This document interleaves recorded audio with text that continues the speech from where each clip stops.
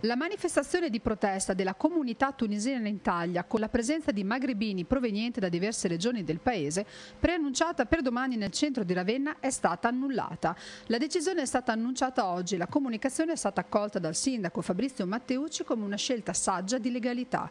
Il primo cittadino ha infatti ringraziato le autorità e i leader politici che in questi giorni hanno, con intelligenza e riservatezza, aiutato a rasserenare la situazione in un frangente così delicato per la città.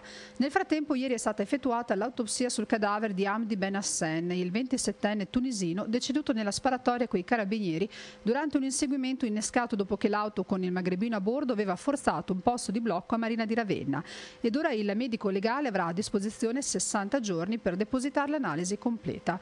Sono comunque già emerse alcune informazioni che fanno ipotizzare che il decesso del tunisino possa essere stato causato da un proiettile che lo avrebbe colpito di rimbalzo. L'uomo sarebbe stato ucciso da una pallottola entrata dal fianco fianco sinistro e conficcatasi nel polmone dopo aver attraversato il rene. Una traiettoria dal basso verso l'alto che potrebbe essere la risultante di una deviazione o anche compatibile con una posizione di mira presa da terra. Ricordiamo che la sparatoria sarebbe iniziata quando i tunisini, secondo quanto riferito dai carabinieri, avrebbero tirato fuori dall'auto una scacciacani dopo aver provato ad investire uno dei due militari, priva del tappino rosso e dunque impossibile da distinguere rispetto ad una pistola vera, soprattutto nelle condizioni di oscurità in cui si sono svolti i fatti.